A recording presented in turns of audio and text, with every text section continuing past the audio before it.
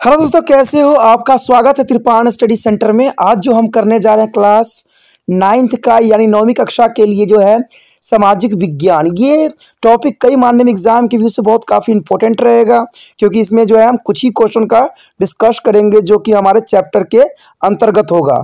ठीक है? और ये आपके लिए इम्पोर्टेंट इसलिए भी रहेगा, क्योंकि ये हिंदी, इंग्लिश दोनों माध्यम में समझाया जाएगा।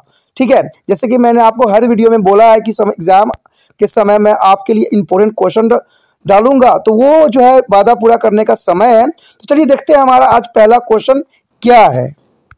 Ninth is the most important what was the global influence of Russian revolution what is question what was the global influence of Russian revolution important question for the exam view the first point here in many countries communist parties were formed like the Communist Party of Great Britain.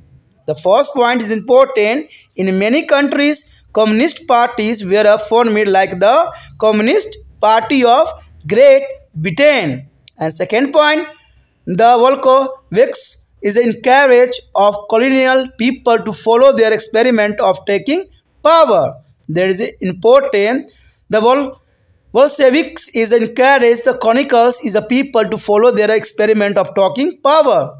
And third point, many non-Russians from outside the USSR participate in the conference of the people of East and Bolshevik founded to the Communenter and International Union of Pro is a Bolshevik is a socialist party. And fourth point that some receive education in a USSR as a communist. The universities of the workers of their East. Okay. The USSR, there is important, some receive education for the USSR as a communist university of the worker of a East. And the fifth point, the last point is here, by the time of the outbreak of the Second World War, the USSR has given to the socialism a global face and as a world stature. There is a global influence of Russia revolution. यहाँ पर जो हमारे समक्ष आया है, नौवा question जो कि रूस क्रांति के वैश्विक प्रभाव क्या था देखिए, रूस की क्रांति हुआ तो सिर्फ़ रूस पे इसका प्रभाव नहीं पड़ा इसे कहते हैं विश्व पे प्रभाव पड़ा कोई भी देश में अगर युद्ध होता है तो सबसे पहले इफ़ेक्ट तो ये पड़ता है इन्वायरमेंट पे पड़ता है, जो हर एक विदेश पे पड़ता है। ठीक है, ये जनरल बात है। और कहते हैं, रूस क्रांति ने वैश्विक प्रभाव डाला। तो वैश्विक प्रभाव क्या डाला? तो इसी बात पे जो है हम यहाँ चर्चा करेंगे और काफ़ी महत्वपूर्ण क्वेश्चन रहेगा ये, कि क्रांति का जो है विश्व पे क्या प्रभाव पड़ा? कहते कई देशों में कम्युनिस्ट पार्टी का गठन ग्रेट ब्रिटेन की कम्युनिस्ट पार्टी की तरह हुआ। देखिए, बहुत काफ़ी महत्वपूर्ण बात आती है कि कई देशों में कम्युनिस्ट पार्टी का गठन हुआ। लेकिन ग्रेट ब्रिटेन की कम्युनिस्ट पार्टी की तरह ही हुआ। क्योंकि देखिए, जिसका प्रभाव अच्छा रहता है, लोग उसी तरह के जो है पार्टी का निर्माण करने में सक्षम होते हैं। आपको क्या लगता है कि कांग्रेस पार्टी क्या भारत में बनाई गई थी? शायद आपको बात सही से इन्फॉर्मेशन नहीं है कि कांग्रेस पार्टी भारत में नहीं है, हर एक देश में है। अमेरिका में भी कांग्रेस है, ठीक है? तो कहते हैं, हर एक देश में कांग्रेस पार्टी है। कहते हैं, उन्हीं से ही जो है, अठारह में भारत में जो है कांग्रेस पार्टी की उदय हुई। यानी यहाँ के जो नेता सब लोग थे, विदेशों की बातें जान के, समझ के, फिर भारत में भी जो है कांग्रेस पार्टी की स्थापना किया। तो आप समझ सकते हो कि कांग्रेस पार्टी सिर्फ़ भारत में नहीं है, हर एक देश में है। यदि दूसरा पॉइंट की हम बात करें तो कहते हैं पहले विश्विकोम ने उपनिवेशक लोगों की सत्ता हथियाने के अपने प्रयोग का अनुसरण करने के लिए प्रोत्साहित किया। देखिए, ये बहुत इंपॉर्टेंट बात आता है कि वैश्विको ने उपनिवेशिक जो उपनिवेशक लोग थे, यानी दूसरे देशों से आके जो हमारे देश पे थे, यानी ऐसा ही कंडीशन वहाँ पर भी था। उपनिवेशक लोगों को जो उपनिवेश बनाए थे किसी देश को, उन लोगों को उनके सारे सत्ता हथियाने का प्रयोग का अनुसरण करने के लिए प्रोत्साहित किया।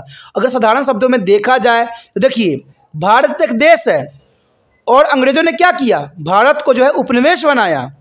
भारत को उन्होंने क्या बनाया? उपनिवेश बनाया। अब उपनिवेश बना लिया तो उन्होंने तो यहाँ से व्यापार करना शुरू कर दिया भारत से। लेकिन उन्होंने सिर्फ़ व्यापार पे अपने आप अपना कदम नहीं रोका। उन्होंने क्या किया? सत्ता में भी अपना हाथ जमाने लग गया। सत्ता का मतलब होता है राजनीतिक में चले गए। यहाँ पर वो मकसद किस मकसद से आए थे? कि भारत से हम क्या करेंगे? व्यापार करेंगे। लेकिन उनका धीरे धीरे जो है इंटरेस्ट राजनीतिक में चला गया। और राजनीति में उन्होंने क्या किया? एक दूसरे को जो है, एक दूसरे के प्रति भड़का के पूरे शासन पे जो है कब्जा कर लिया। तो यही बात इस जो है प्रश्न के अंतर, आंसर बता रहा है कि वैश्विकों ने, उपनिवेशिक लोग सत्ता हथ, हथियाने के अपने प्रयोग का अनुसरण किया कि इस देश का जो है सत्ता अपने हाथों में ले ले और इसके लिए उन्होंने काफ़ी प्रोत्साहित किया लोगों को। समझ गए ना क्वेश्चन का क्या अर्थ था? दूसरी बात बताता है कि यूएसएसआर देखिए यूएसएसआर आपको शायद पता होगा कि जब हमारा शीतकाल युद्ध चली थी यानी जो कोल्ड वार चली थी तो इसमें दो देश था। एक तो अमेरिका था और एक यूएसएसआर था। अब सोचिएगा यूएसएसआर में था क्या? यूएसएसआर में रूस, फ्रांस, जर्मनी, सारे देश थे। सारे देश बन मिल के एक यूएसएसआर का जो है गठन किया गया था।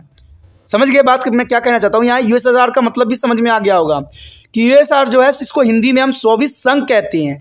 और सोवियत संघ एक राष्ट्र नहीं था। इसमें कई देश मिल जो है एक बनाया गया था। इसमें रूस, फ्रांस, जर्मनी सारे देश थे।